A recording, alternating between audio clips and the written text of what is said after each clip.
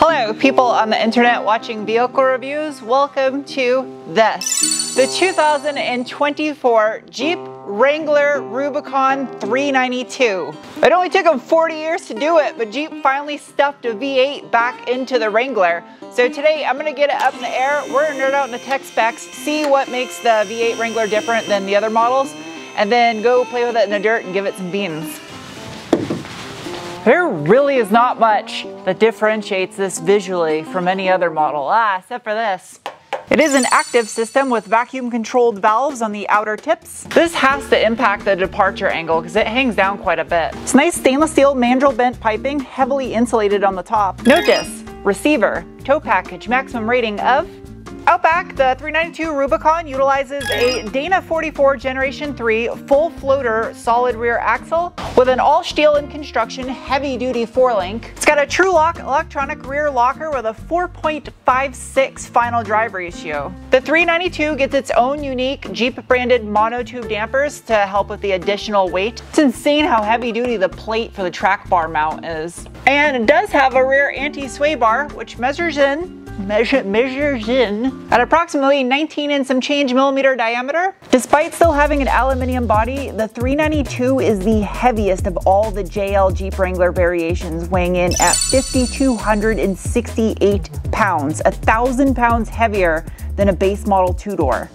Oh, it's unequal length, I think. And it's got an H pipe. No wonder this thing sounds so gnarly.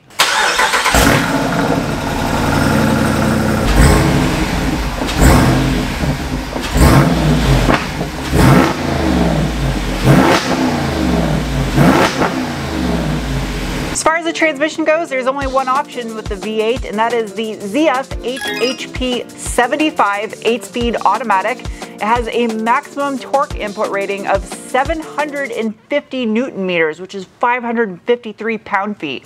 Bash bar to protect the transmission pan and a built-in hoop to protect that crossover exhaust pipe. It is paired to the Selec-Trac MP3022 two-speed auto transfer case manufactured by Magna with a low range ratio of 2.72 to 1.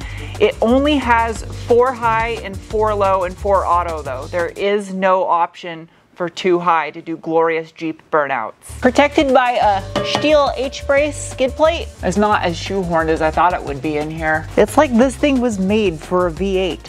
This is awesome. Up front, you have another Dana 44 Generation 3 solid axle with a Tru-Lok front locker, electronically controllable inside. Again, those Jeep branded monotube dampers. Interesting enough, they give you a Mopar branded steering stabilizer, unlike the Bilstein one you got on the 4xe Rubicon. The front anti-sway bar, which is electronically disconnectable, measures in at, well, big, 32 and change millimeter in diameter. Someone might have actually thought about this. Looks like the oil filter drain is positioned so it'll drop just between these bars without hitting them. There, there might have been a mild bit of sarcasm there.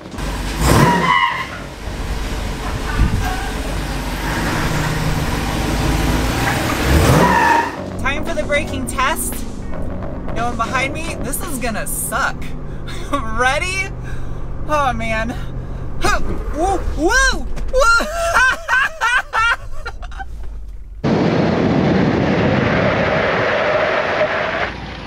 it was almost like I didn't have ABS for a second. It was like sideways for a bit.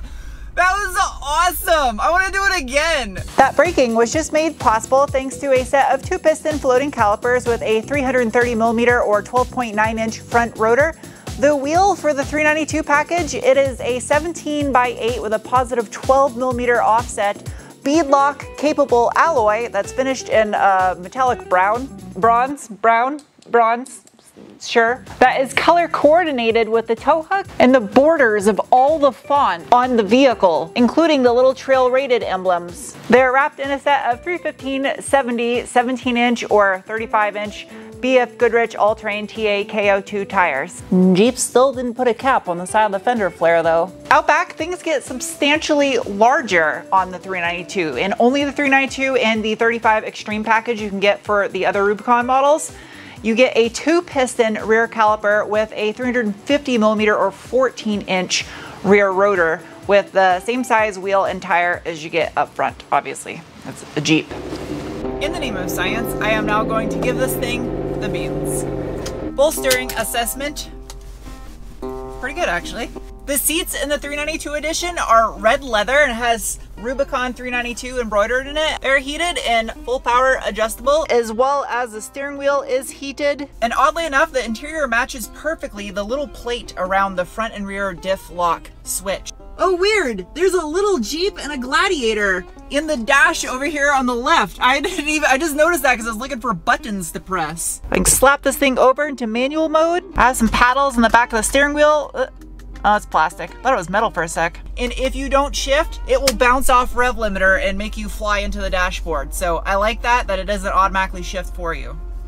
That shall always remain on. Traction control off, but I'm gonna leave it in drive because it's probably quicker.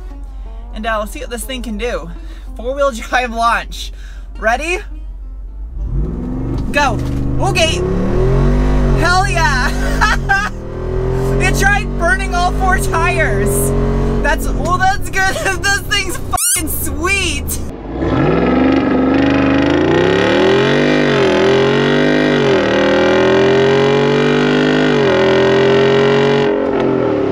It gets out of the hole hard. The fender flares have fender flares. That's how you know you've made it in the world. That is the only thing that gives away that this has a V8 is just right here on the side of the hood scoop. Oh, this hood is super heavy. This is insane. Oh, because water, it channel, it guides the water out. Oh, okay. It's essentially a ram air system. The air comes through the ducting right here from the hood scoop down into the bottom of the air box before going into the engine. It has an additional little flapper to drain water out. Underneath the the 2024 Jeep Wrangler 392 is a 392, which is the Apache 6.4 liter iron block aluminum head pushrod V8 that produces 475 horsepower at 6,000 RPM and 470 pound-feet of torque at 4,300 RPM. Digging in a little bit deeper on this Apache 392 as a forged steel crankshaft, hyper-eutectic aluminum pistons with cross-bolted mains. It has a 103.9 by 94.6 millimeter bore stroke with a 10.9 to 1 compression ratio. It does have MDS, multi-displacement system, so it can kick down onto four cylinders to conserve on fuel. And speaking of fuel, this has multi-port fuel injection only, no direct injection, so you have to worry about the back of your valves getting dirty from carbon deposits. This does have a variable intake runner at 4,800 RPM. It'll switch from a long runner to a short runner or vice versa. This hood is so heavy. No wonder it weighs a thousand pounds more. Since I've already reviewed a 2024 Wrangler Rubicon 4xE, we already know its off-road capabilities based upon that. But what you want to know is how ignorant can you possibly be off-road with a loud screaming V8? Because that's what I want to do in one of these things. Select Off-Road Plus, which automatically defeats traction control. Ready? Go! oh, it gets sideways!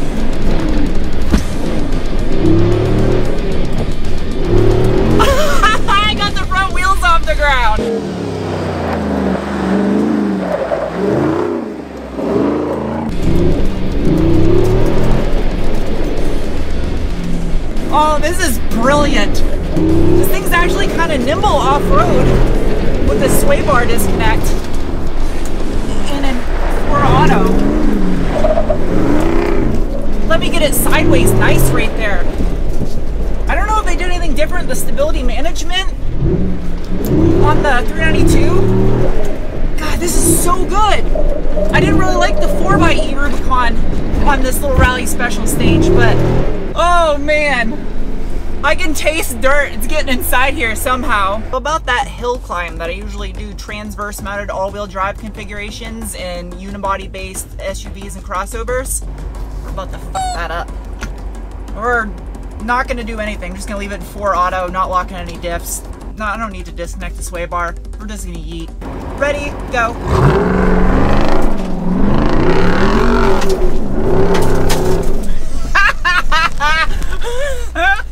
For all the reviews you watched of vehicles that struggle up that, the power and beauty of something like this. In case you don't want to use your feet, it also has hill descent control, which you must be in 4 low to use.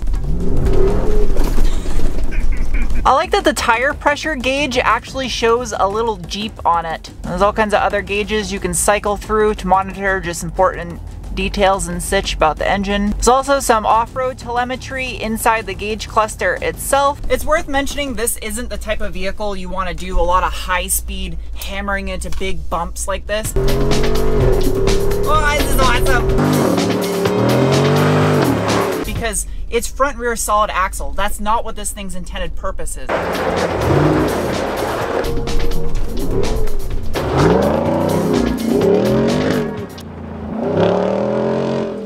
More of a rock crawler. This, in contrast to a Bronco Raptor in anything high speed, it's not even gonna be close just because just shapes. Typically I use the gravel pit to test the vehicle's all-wheel drive or four-wheel drive system to see how it can get out of a deep sand, snow, rock situation. But in this situation, I'm gonna see if I can send pebbles into outer orbit. I'm gonna defeat my traction control again, and I'm gonna disconnect my sway bar because that makes no sense whatsoever for what I'm about to do, other than I wanna disconnect it so I can say I, I at least used it once. Engage.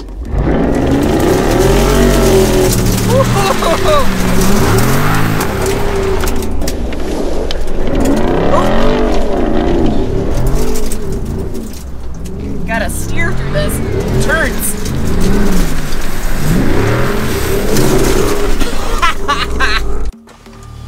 well, hello. This is sweet because the biggest pain with one of these hardtops is having to take it off. But this takes the pain out of it. It's got the little dongle up here for the satellite radio.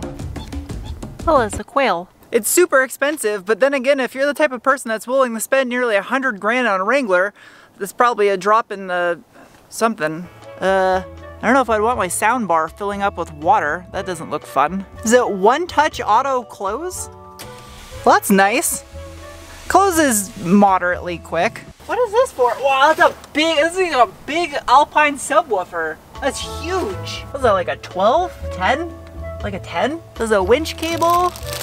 They give you a pair of, pair of gloves and a nice looking tow strap. A little storage compartment. Bag for your top.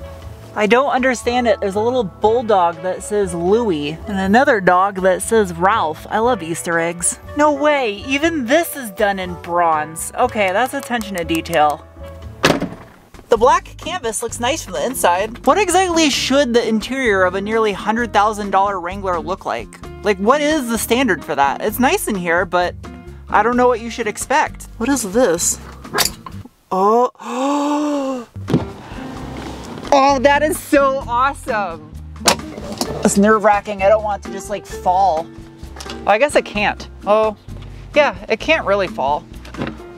That is so neat. And then when the top is down, that makes even more of a unique parachute experience for this back glass. Ton of USB ports in the rear seat, also an AC power inverter. They actually engraved a baby into the rear sheet metal of the door. Oh, rar. That huge Alpine subwoofer out back translates to a fairly decent sound system in here. Armrest has got some red stitching on it and then so... What is this? Is that a pen? Oh, it's a toolkit! So you can take your top off. That looks like a lot of work. Rip it e-brake. Floor mats can be confusing. Be sure you read about them. I want to try out this so I'm gonna go to trail recordings, front cam, clean gat, what? Did it squirt my camera lens? It does! It squirts your camera lens clean. Guess I gotta go dry it. Okay, let's record a trail. Oh, it's, it's gonna make a trail. This is neat. I mean, this is the kind of stuff you should expect if you're paying 90 plus thousand dollars for this, other than just a V8 I want some other neat stuff too. Plot my little trail. Oh, it actually plots a shape. It's making a little dotted outline of my trail. Okay, I'm making, oh, you could make obscene shapes. Oh good, it'll erase your trail. No, I won't erase your trail.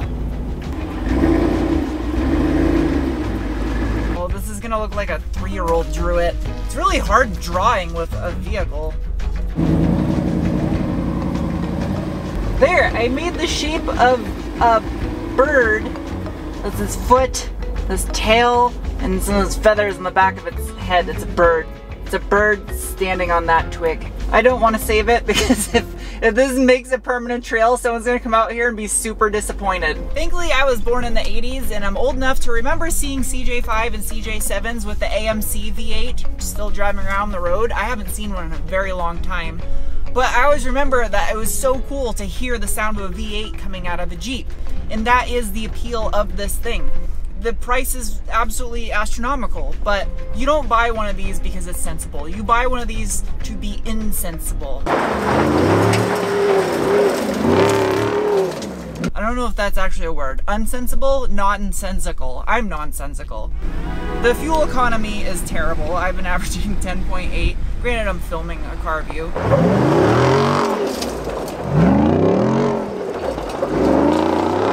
This has by far been the most miles per gallon I have had off-road with the exception of maybe the Raptors or the T-Rexes. It's just perfect having a V8 in one of these things. It is now time to give this thing some scores, starting with the bean score, the assessment of the feeling you get in your gut when you give it the beans. And the 392 Wrangler gets a rating of, followed by the cookie score, the assessment of value, and this thing as equipped at $95,000 gets a rating of. Next is the wrench score, the assessment of ease of maintenance, and this thing gets a rating of. Next is the meatball scores, the assessment of a vehicle's off-road capabilities at Hamburger, and this 24 Wrangler 392 gets a rating of. Lastly is the penguin score, the assessment on how much I personally like a vehicle, and by shoving a V8 to a Wrangler, it earns a rating of. Should always came like that. Chef kiss. Bye.